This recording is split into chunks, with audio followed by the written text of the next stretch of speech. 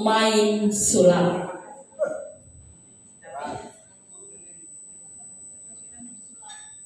Iya. Latar belakangnya, kenapa main sulap ini?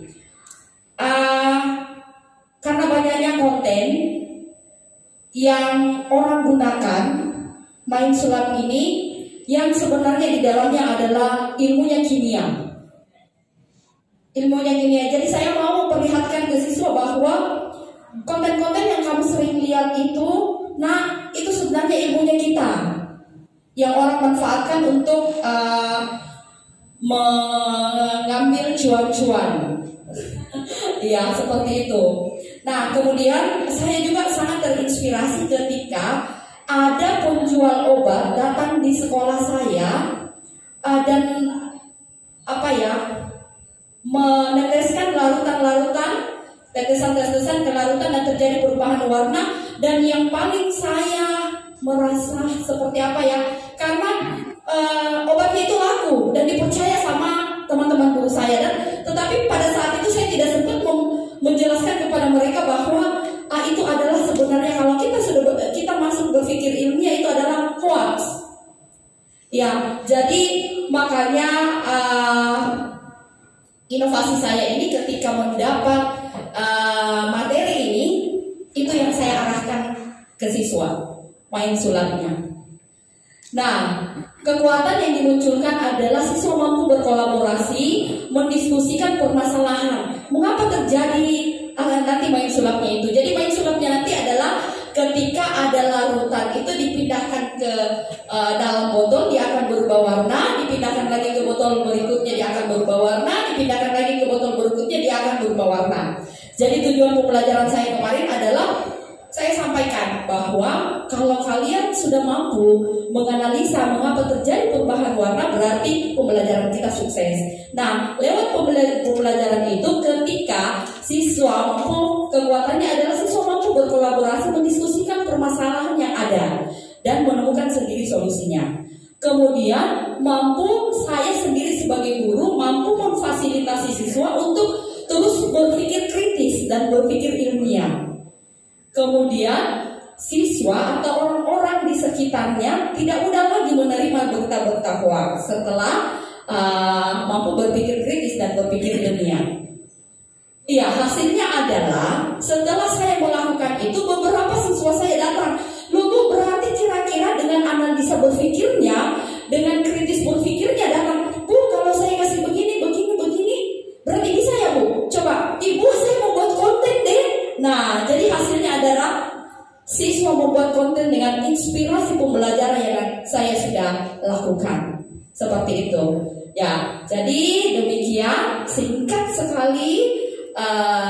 Pemaparan saya melalui PPT. Mungkin lebih ini untuk masuk videonya langsung.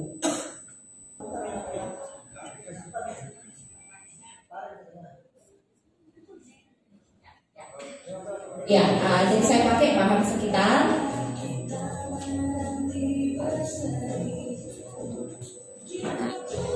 Ketika ditumpahkan ke dalam botol Coca-Cola, dia akan berubah menjadi warna Coca-Cola.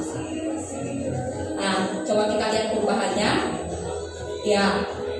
Nah, ketika kita tumpahkan ke dalam botol Sprite, dia akan langsung berubah menjadi uh, warna seperti Sprite.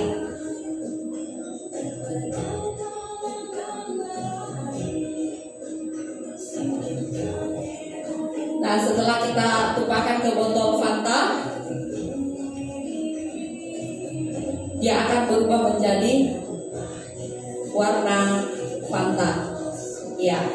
ilmunya kimia.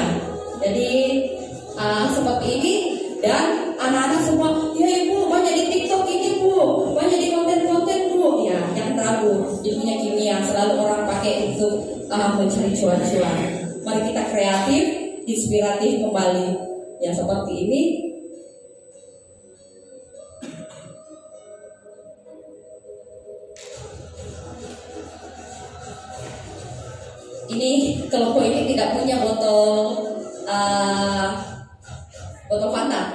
Jadi botol Coca-Cola dipakainya nah setelah itu uh, mereka diskusi.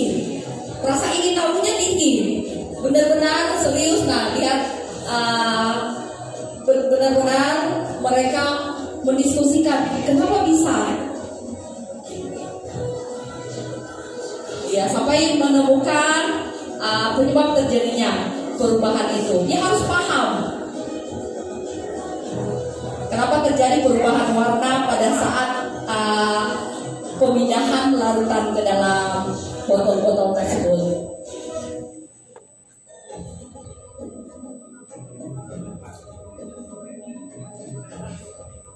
Ya, jadi ini ketika siswa bertanya saya arahkan, tapi saya tidak memberi solusi, saya arahkan terus. Nah, setelah itu siswa mempresentasikan hasil diskusinya pada setiap kelompok. Melakukan kesimpulan bersama, ada permainan yang kami lakukan di uh, ending pembelajaran, yaitu games fisik berantai.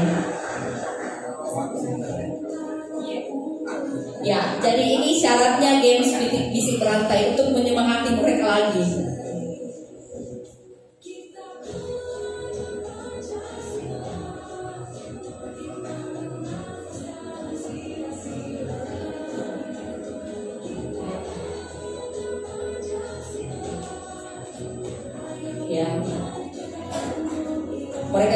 Antusias karena uh, game ya pasti ada tantangannya, ada senangnya, ada yang ingin ingin dicapai lomba-lombanya.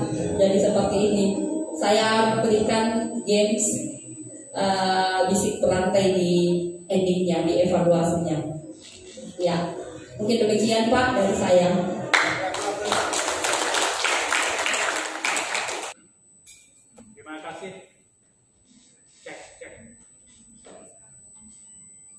Cek. Ya, Ibu Sulfa, Ibu Sulfa ya? Iya Pak, ya, Pak. Mata pelajaran kimia. Eh, ini apa tujuan pembelajarannya tadi? Tujuan pembelajarannya adalah mengidentifikasi larutan asam dan basah.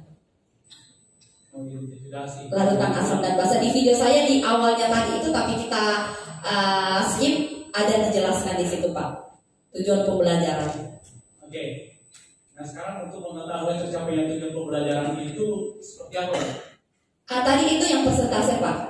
Uh, yang persentase anak-anak mengungkapkan sebuah kelompok ya. Iya. Kalau yang sifatnya individu gimana mengetahui? Uh, individualnya itu yang tadi mereka datang ke saya, Bu, uh, kalau begini kok campur lagi begini, kok kasih begini lagi, perubahan warna yang begini lagi ya, Ibu berarti saya bisa ya bikin konten juga ya yang yang ini ya, seperti itu. Jadi itu evaluasi saya. Nah, termasuk ada yang datang, ibu kalau misalnya uh, backlink saya arahkan, coba searching. Backlink uh, bersifat apa? Ya searching lagi. Backlink bersifat basah bu. Ah, terus uh, cari minuman kira-kira yang bersifat asam. Ya searching lagi. Ibu, Fanta bersifat asam bu. Coba lakukan eh ibu berubah warna bu ya jadi seperti itu dia sudah merenggih jadinya. Jadi terinspirasi untuk melakukan lagi uh, perubahan-perubahan warna yang lain. Jadi itu indikator saya pak. Ya. Nah uh, mungkin ada pertanyaan mungkin uh, agar supaya kita bisa mendeteksi memang tercapaian tujuan pembelajaran itu melalui asesmen di akhir. Ya uh, mungkin bisa dengan memberikan juga seperti kuis atau apakah itu modelnya nanti akhir berjalan karena yang sampai tadi terkait dengan perubahan-perubahan warna tadi itu kan nanti ada strategi pembelajaran kita itu saja saya kira Pak uh, Kak Soli Audience, silakan. Dari peserta mungkin ada yang ini. Ya. Dari peserta juga ada apa-apa, bukan ya. juga nggak apa-apa. Silakan. Cukup mengatakan pas. Ya. Ya, karena itu pas uh, artinya pasrah. Baik, pertanyaan saya sebenarnya cuma satu. Uh, pada saat dia berubah-ubah warna, disulap-sulap untuk berubah warna. Itu kan kesannya seperti itu, disulap-sulap berubah warna. Pada saat itu terjadi proses pembelajaran anak mengenal asam basah, tapi tadi tapi tidak muncul di video tadi.